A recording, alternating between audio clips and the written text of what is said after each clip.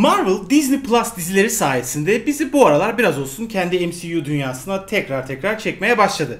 Fakat bir yılda en az 3-4 tane Marvel filmi izlemeyince bir garip olmaya başladığımız şu zamanlarda en son izlediğimiz filmin üzerinden tam 2 yıl geçmiş.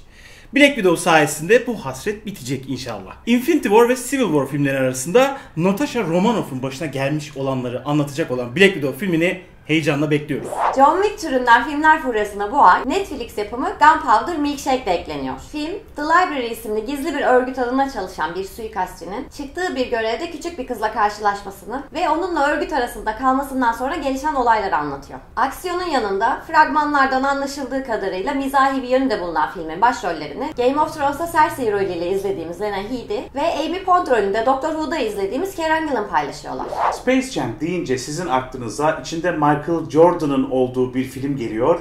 Benimse aklıma bir sürü kelime şakası geliyor. Benim kuşağımdaki insanlara oldukça güzel şeyler hatırlatan Space Jam, şimdi topu bir sonraki nesle aktarıyor ve LeBron James'le birlikte harika maceralar bizi bekliyor.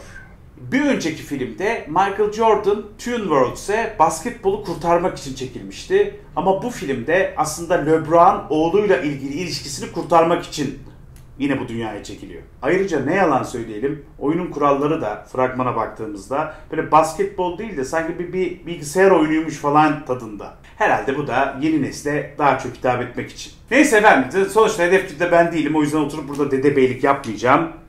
Umarım güzeldir. İnsanların hayatlarını televizyondan izleyerek günlerini geçiren Will isimli karakterin dünyaya gidecek bir sonraki ruha karar vermek için yaptığı bir çeşit mülakatı konu alan Nine Days, hem dünyada yaşayan insanların hem henüz doğmamış ruhların hem de bütün bu sürece tanıklık eden bir varlığın gözlerinden yaşamın kendisine bir bakış açısı sunacak. Kadrosunda Vincent Duke, Zazie Beetz, Bill Skarsgård ve Benedict Wong gibi isimlerin olduğu filme çok coşuyoruz.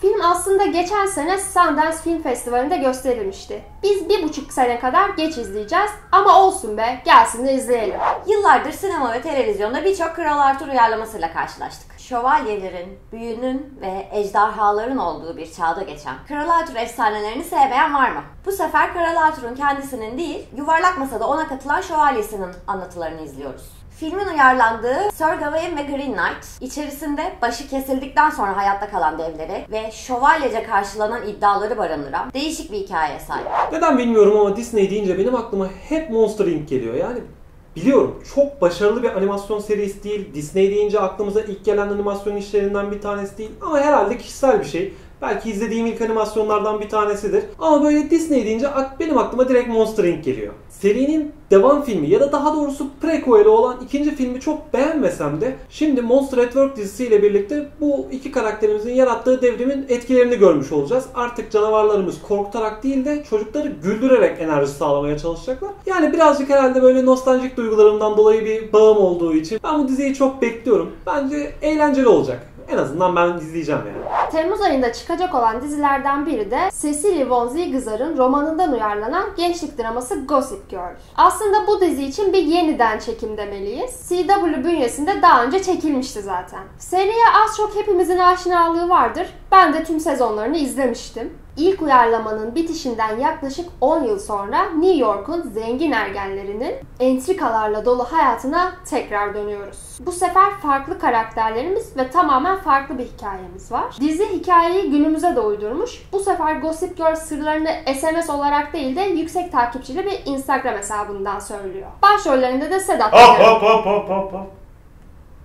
İlk sezonu 2019 yılında yayınlanan Miracle Workers, komedinin absürt taraflarında bolca gezilen antolojik bir dizi. Man Seeking Woman dizisinin kaleminden uyarlandığı yazar Simon için bir başka kitabına dayanan Miracle Workers'ın başını Steve Buscemi ve Daniel Radcliffe'in çektiği oyuncu kadrosu da bu absürtlüğe bolca katkıda bulunuyor. Dizinin 3. sezonunda Vahşi Batı'ya gidiyoruz. Dizinin ilk iki sezonu farklı hikayeler anlattığı için ilk ikisini izlemediyseniz de çok önemli değil. Ancak bu ay Miracle Workers'ı kaçırmayın. Korku filmlerinin sinemayı kasıp kavurduğu zamanlarda bile televizyonda korku dizilerinin sayısı nedense çok az oluyor. Bir de sadece kaliteli olanları bir kenara ayırdığımızda elimizde kaliteli olan Aa, şu kadarcık dizi kalıyor. Kaliteli korku dizisi deyince de akla ilk gelen isimlerden biri şüphesiz ki American Horror Story. American Horror Story'nin spin-off'u American Horror Stories'i de işte bu saydığımız nedenlerden ötürü bekliyoruz. Eğer orijinal seri kadar iyi olursa ne ala. Fakat isim konusunda biraz daha yaratıcı olabilirlermiş. Değil mi yani? Story stories. Aman tanrım. Farkındaysanız bu listelerde hep böyle sanki bir zaman makinesinin içerisindeymişiz gibi hissediyoruz. Çünkü ne bileyim Space Jam dedik, Monster Inc. dedik. Şimdi de sırada He-Man var aga. 83 yılında çıkan ve kılıcını çekip Gölgelerin gücü adına güç bende artık diye bağıran He-Man 40 yıl sonra Netflix'in yüzü suyu hürmetine yine izleyicilerin karşısına çıkıyor. Ben böyle heyecandan tir tir titriyorum. Ya animasyon kalitesinin günümüze uyarlanmasını falan bir kenara bırakın. Serinin çok ulaşılabilir bir platformda tarafımızdan hemencicik izlenebilecek olması bile muhteşem haber. Şimdi akıllara tek bir soru geliyor. Acaba alt komşu duymadan ne kadar yüksek sesle Güç bende artık diye bağırabilirim.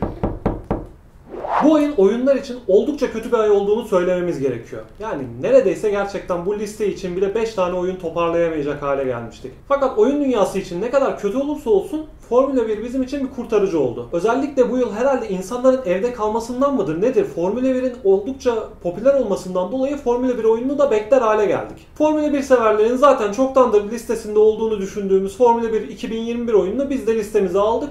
Bir çıksın bakarız.